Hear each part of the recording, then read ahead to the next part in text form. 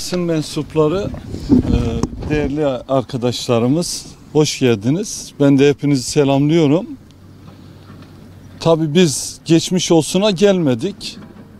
Çünkü Figen Başkan devrimci ve sosyalist kimliğini layıkıyla sürdüren ve bu konuda gerçekten ne gerekiyorsa yapan çok değerli bir yoldaşımızdır, yol arkadaşımızdır.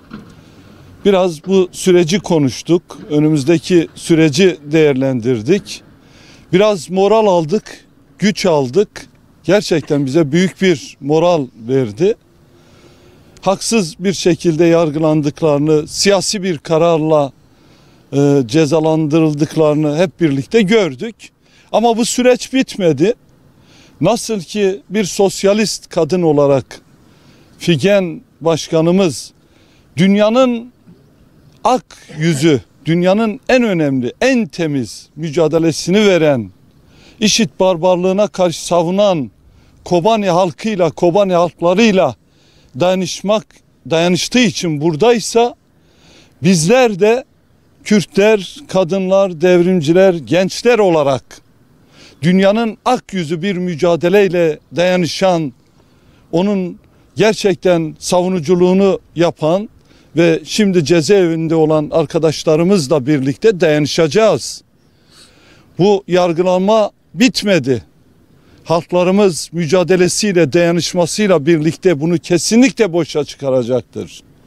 Bomboş iddialarla, hiç olmayan maddelerle arkadaşlarımızı cezalandırdıklarını düşünenlere daha büyük bir mücadeleyle, daha büyük bir dayanışmayla gerekli olan yanıtı vereceğiz.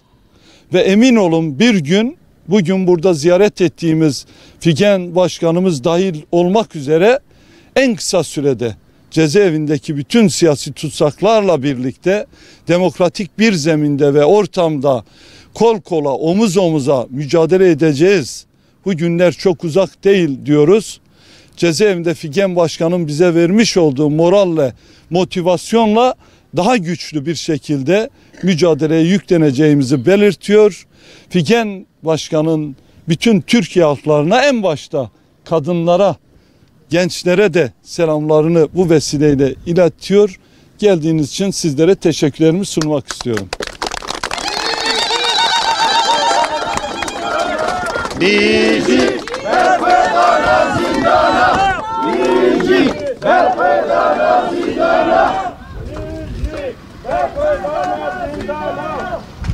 Basın emekçileri, değerli halklarımız, biraz önce Kandıra cezaevinde sevgili eş başkanlığımızı yapmış olan değerli yoldaşımız Figen Yüksekdağ'la bir görüşmemiz gerçekleşti.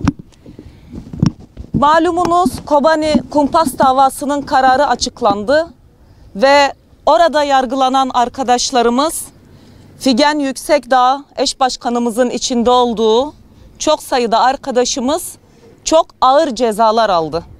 Yüzlerce seneyi topladığımız zaman yüzlerce seneye tekabül eden cezalar aldı. Bizler de bugün bu ziyaretimizi gerçekleştirdik ve sevgili Figen Yüksekdağ eş başkanımızın durumunun çok iyi olduğunu bilmenizi isteriz. Morali motivasyonu oldukça yüksek. Bu cezalarla ilgili yaptığı değerlendirmeler tam da bir Türkiye okuması olduğunu belirtmek isteriz.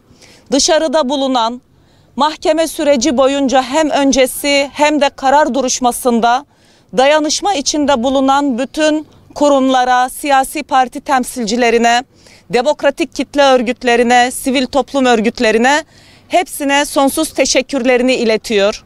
Siz değerli basın emekçilerine sonsuz teşekkürlerini iletiyor.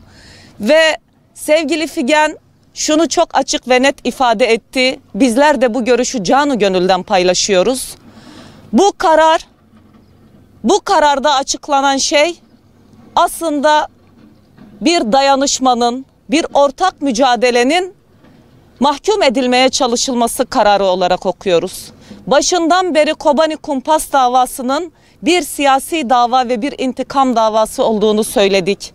Kobani halk Kobani'de halkla dayanışan IŞİD'e karşı gerek Türkiye gerek Orta Doğu gerekse dünyada en güçlü tavrı ortaya koyan halklar, ezilenler ve sömürülenlerin dayanışmasına bir ceza verilmek istendi.